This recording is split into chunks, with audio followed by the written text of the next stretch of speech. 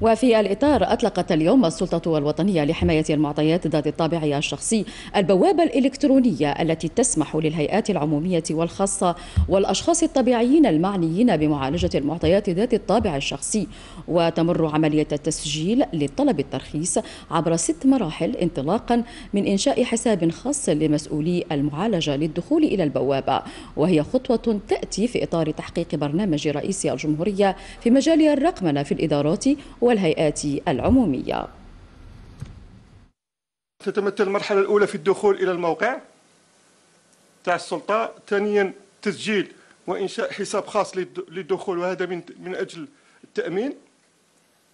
ثالثا الولوج إلى الصفحة الرئيسية للبوابة الرقمية. وذلك من أجل ملء الاستمارة الإلكترونية الخاصة بالتصريح المسبق للمعالجات أو طلبات الترخيص أو طلب الاستشارة.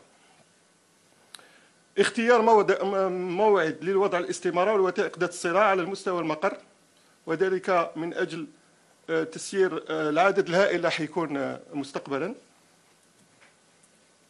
وضع الاستمارة موقعة موقعة من طرف المسؤول على من طرف المسؤول على عن المعالجة والوثائق المرفقة ذات الصلة على مستوى مقر السلطة والحصول على وصل الاستلام. في الأخير آه، المسؤول عن المعالجة يتلقى قرار السلطة الوطنية في الأجال المحددة قانونا حيث أن التصريح يكون في خلال عشرة أيام وطلب الترخيص يكون خلال مدة شهرين.